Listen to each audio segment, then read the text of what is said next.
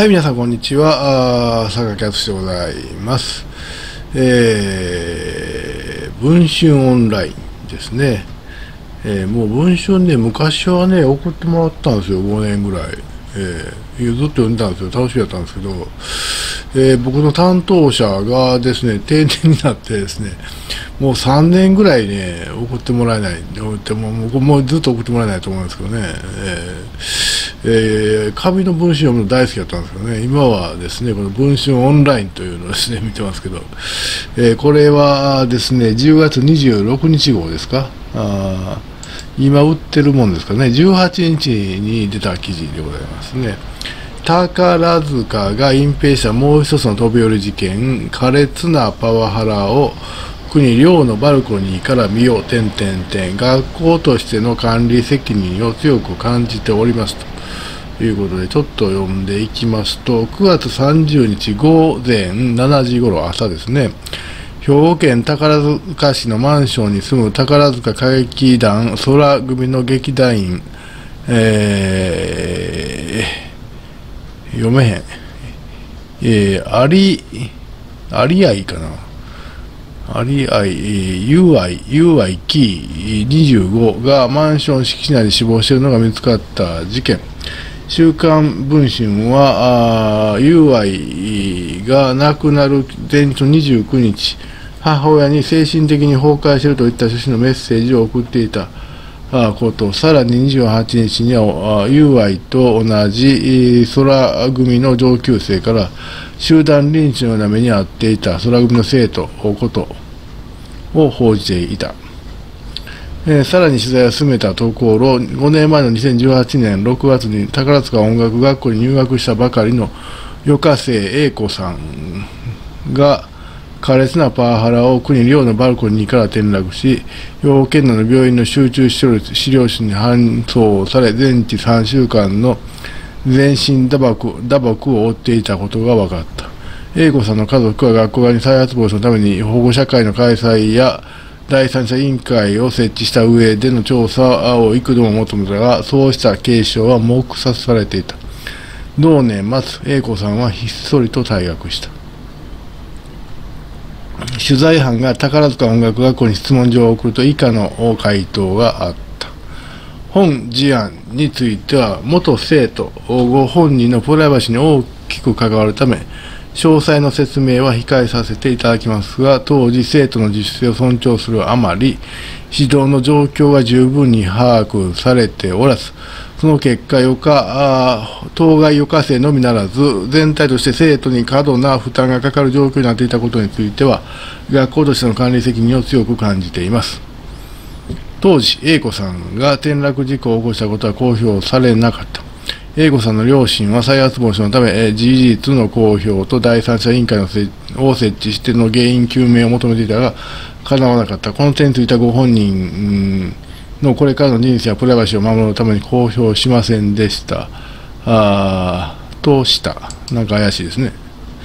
えー、もうちょっと言いましょうか。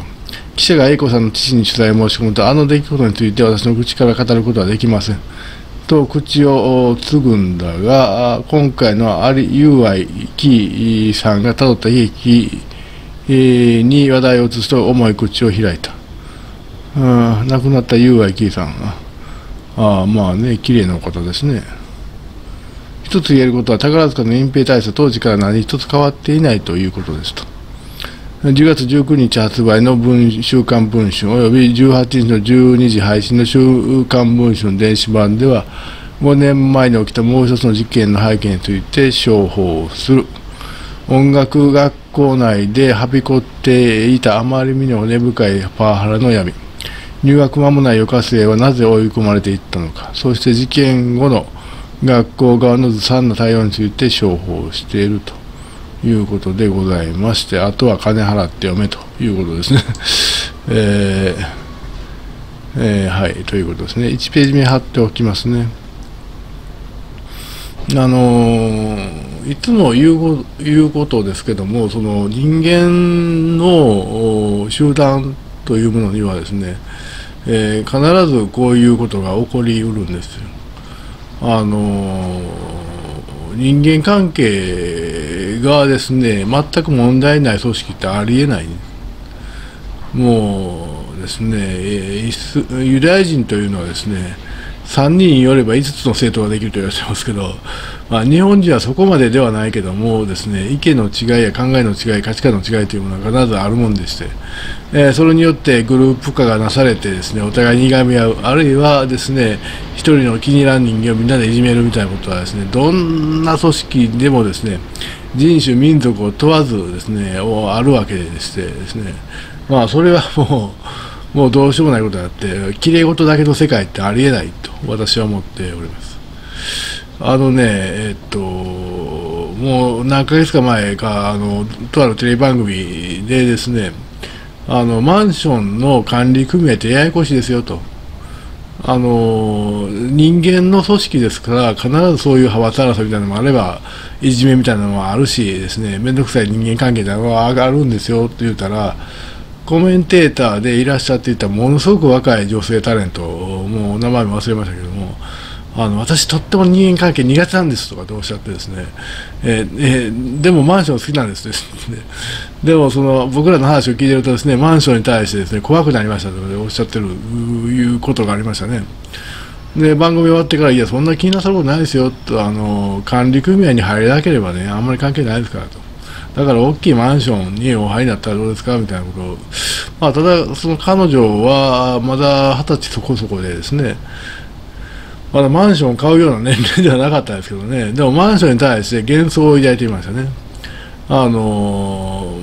そういうことから逃れられるというふうにですね、えー、その人間関係から逃れられると。こんな言うだったらタレントだってね、あれ人間関係の中にいるようなもんもんでしょう。いろんなことあるでしょ。う人間関係というものから逃れられて逃れて生きてる人間なんてほぼいませんよ、えー、僕なんか比較的ねそこからは自由です。というのはまずフリーランスでしょ。組織に属してないでしょ。でお付き合いをするのはですねあの人まずは編集者。あですね。であとは記者さんとか取材を受ける立場の。ほんであとは仕事上関係ある不動産屋さんとかって。あの嫌いな連中とは付き合わないですから 基本的に。で編集者や記者さんも僕のこと嫌いであればあんまり寄ってきませんからね。嫌いであっても記者さんとかはね記者さんが僕のこと嫌いであっても仕事で僕の話を聞かざるを得ないっていう時にはニコニコニコニコしてくれますから、まあ、そこでストレスはないわけですよこっち側に、ええ、だからものすごく自由ですよ。えー、僕みたいな生き方をしてる人は多分ごくごく少数派で100人1人もいないんですよ。で私も長らくですね零細企業の社長をやってましたけどあの対社員というのもあるわけですよ実は。社長と社員やったら社長が絶対強いやろうと皆さん思うかもしれませんけどもですね。気使うんですよ社長も社員に。基本的には。だって機嫌よく仕事をしてもらわなければですねうまく回らないわけですから。で社員同士がまた始めるでしょ？人間関係を。あめんどくさーだってあれは嫌でしたね。であとですね零細企業ですよ。お客さんがいるわけですよ。お客さんから仕事をもらう立場なんですよ我々は。相当そっちに気遣うでしょ？ああめんどくさいって感じですけど。今の方が全然楽です。でたとえ宝塚のようなねあの美少女が集まる集団でもですね美少女だからみんな性格がいいなんてありえないわけですよ。絶対いろんなことがあるわけですねあってですね今回は亡くなった方が出てしまったということですね。でこれ、今後ですねそのもしかしたらもうちょっと大きい問題に発展するかもしれません。あのジャニーズの場合はですね亡くなった方いらっしゃらないですよね。えー、でも今回、宝塚はですね亡くなった方が出てきています。でこれ多分ね過去遡ればねもうあと何人かいそうな気がするんですよね。えー、でそれがもしかして順次暴かれていったりするとですね宝塚の闇みたいになってですね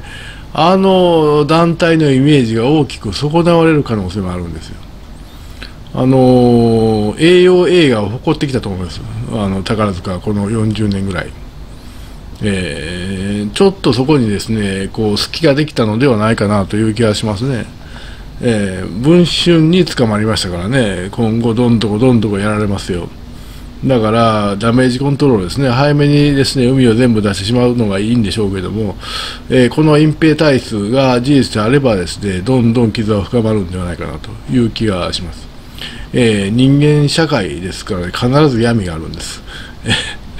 えー、で特にですねあのジャニーズは美少年集団ですけども宝塚は美女美少女集団でしてやっぱり世間の関心は集まっていくわけですよ。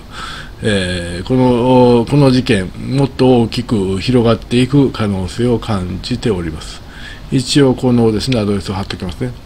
はい、皆さんどうもありがとうございました。